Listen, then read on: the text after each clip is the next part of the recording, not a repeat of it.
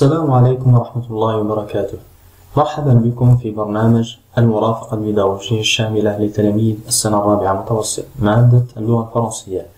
سيونس 4 La cause et la conséquence. الحصة الجديدة التي سنتطرق إليها اليوم هي حصة تتعلق بما يسمى بالسبب والنتيجة. La cause et la conséquence. لكن قبل ذلك سوف نقوم بتصحيح التمرين الذي أعطيتكم إياه في الحصة السابقة. بالنسبة للذين فاتتهم الحصة ما عليهم سوى آه، الرجوع إلى الحصة التي قبل هذه الحصة وسوف أترك لكم الروابط في صندوق الوصف وفي التعليقات. أما بالنسبة للتلاميذ الذين أنجزوا التمارين أو التمرينين فأثني عليهم وأقول لهم قد آه، أبليتم بلاء الحسنة واصلوا على هذا المنوال وسوف تنالون ثمار العمل الذي تقومون به إن شاء الله Correction de l'exercice. Il y avait deux exercices. Le premier exercice euh, concernant le champ lexical, lexical متعلقان الدلالي le champ lexical لمن فاته الدرس Euh, dis à quoi te fait penser chaque liste de mots. Il y a deux listes de mots.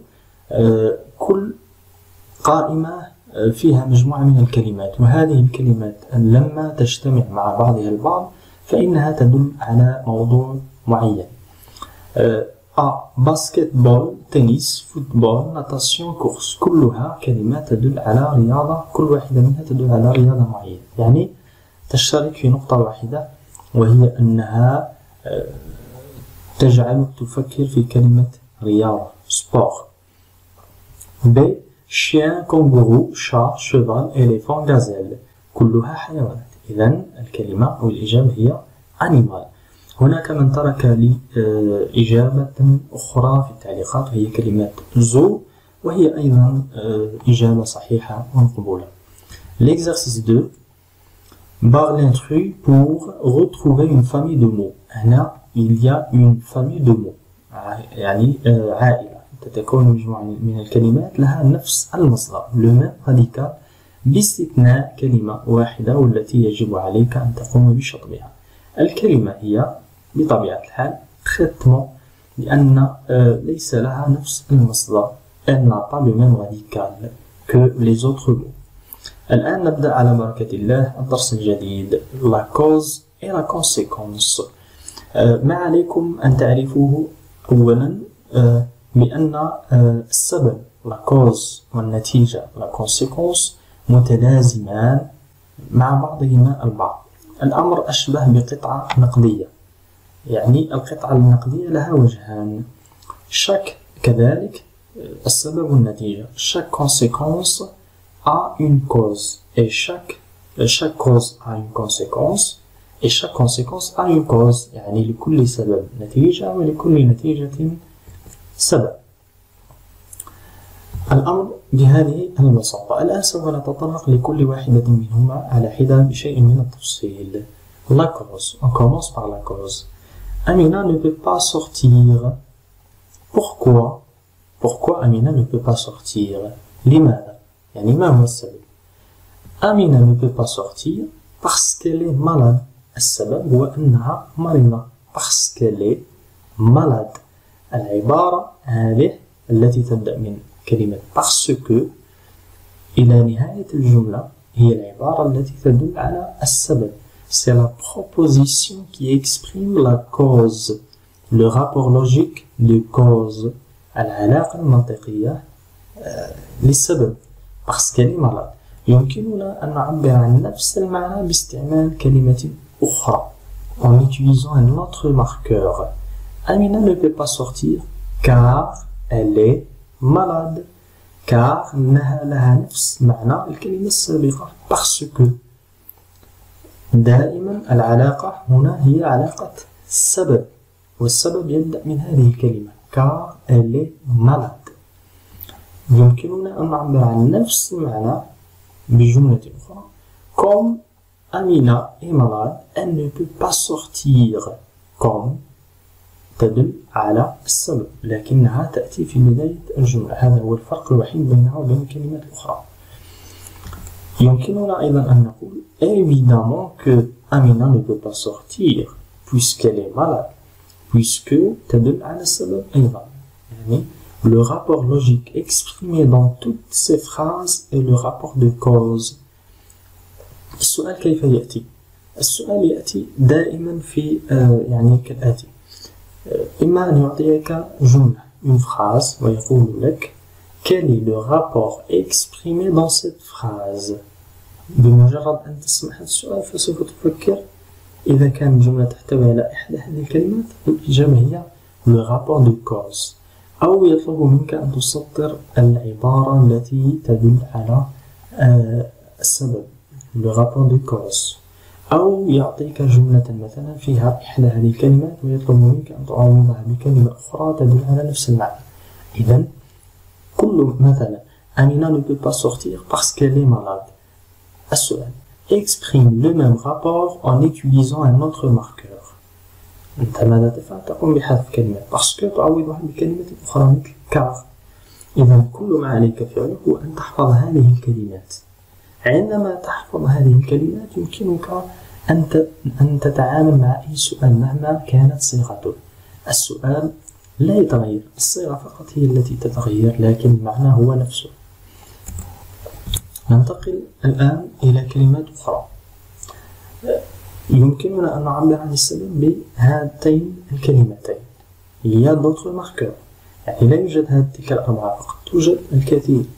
لكن هذه الكلمات هي الأكثر استعمالا والأكثر تداولا grâce à أيضا تدل على السبب cause de أيضا تدل على السبب لكن ما هو الفرق؟ الفرق هو أن الكلمة الأولى تستعمل لما يكون السبب إيجابيا أما الثانية فتستعمل يعني de تستعمل لما يكون السبب سلبيا مثلا Mon frère a réussi grâce à son excellent travail. يعني أخي فاز أو نجح بفضل عمله الجيد. À cause de cet élève a échoué à cause de sa paresse هذا التلميذ فشل أو رسب بسبب تكاسله بسبب تقاعسه. إذا في الأول السبب إيجابي يعني لما نتحدث عن شيء إيجابي. أما في الثاني لما نتحدث عن شيء سلبي نستعمل à cause de مثلا لما يتعلق الأمر بحادث مرور لا قدر الله أو بكارثة طبيعية. مثلا نستعمل à cause de ولا نستعمل بغاس أ والتي معناها بفضل. هذا هو الفرق الوحيد. هذه الكلمات أيضا يمكننا أن نستعملها للتعبير عن علاقة السبب Le rapport logique de cause الآن ننتقل إلى الشق الثاني من الدرس وهو la conséquence Exemple. Amina est malade. Donc elle ne peut pas sortir. أمينة مريضة إذا لا يمكنها أن تخرج. يمكننا أن نعبر عن نفس المعنى باستعمال كلمة أخرى en utilisant un autre marqueur يعني مثلا أمينة est malade. Alors elle ne peut pas sortir هنا لدينا نفس المعنى لكن استعملنا كلمة أخرى تدل على النتيجة la conséquence donc c'est la conséquence alors c'est la conséquence نفس الأمر أو يمكننا أن نقول أيضا أمينة malade par conséquent elle ne peut pas sortir لدينا دائما نفس المعنى لكن الشيء الوحيد الذي تغير هي الكلمة nous allons changer de marqueur nous allons utiliser un autre marqueur pour exprimer toujours le rapport de conséquence. علاقة المنطقية علاقة النتيجة توجد نتيجة ما هي النتيجة لما تكون مريضة النتيجة هي أنها لا يمكنها أن تخرج هذه هي النتيجة طبعا هناك كلمات أخرى يمكننا أن نستعملها للتعبير عن النتيجة لكن هذه الكلمات التي أعطيتكم إياها هي الكلمات الأكثر استعمالا والأكثر تداولا ويجب عليكم أن تقوموا بحفظها. وغالبا ما يطرح السؤال عن إما السبب أو النتيجة. la cause و la conséquence في امتحان الشهادة. فقد طرح في سنة 2020 في آخر امتحان شهادة سنة 2019 وفي سنة 2018 و2013 و2012 يعني سؤال هذا السؤال يتكرر كثيرا. والصيغ هي نفسها نفسها. إما أن يطلب منك أن تسطر العبارة التي تدل على la cause ou la conséquence souligne la proposition qui exprime la cause أو la conséquence. تبدأ من الكلمة التي تدل على السبب والنتيجة أو يعطيك الجملة ويطلب منك إعادة كتابتها باستعمال كلمة أخرى لها نفس المعنى. أنت إذا حفظت هذه الثلاثة يعطيك مثلا الجملة الأولى يقول لك مثلا exprime le même rapport بالدلالة على نفس العلاقة en utilisant un autre marqueur ou bien un autre mot de même sens. ما الذي تفعله؟ تقوم بحذف كلمة donc وتعوضها بكلمة alors مثلا وبكلمة par conséquent. هذا كل ما عليك فعله إذا أنصحك بحفظ هذه الكلمات كما الآن قبل أن ننتقل للتمرين Pour exprimer la cause, on peut utiliser les marqueurs suivants. Car, parce que, quand, puisque, à cause de, grâce à. Pour exprimer la conséquence, on peut utiliser les marqueurs donc, alors, par conséquent. هذه الكلمة تحفظها. الآن ننتقل إلى التمرين. Exercice. La question. Les phrases suivantes expriment-elles la cause ou la conséquence هذه الجمل على ماذا تدل السبب la cause ou la conséquence النتيجة كل ما عليك فعله ببساطة أن تكتب في التعليقات الإجابة كالتالي رقم السؤال أ بجانبه تكتب إما la cause أو la conséquence نفس الأمر بالنسبة للجملة الثانية والثالثة والرابعة ماذا تفعل؟ للإجابة؟ تبحث في الجملة عن الكلمة عن إحدى الكلمات التي تطرقنا إليها. مثلا إذا وجدت. parce que فما الذي تدل عليه؟ سبب أو النتيجة la cause و la conséquence هذا موجود في الدرس. إذا فاتتك معلومة ما عليك سوى إعادة مشاهدة الفيديو. والإجابة عن التمرين.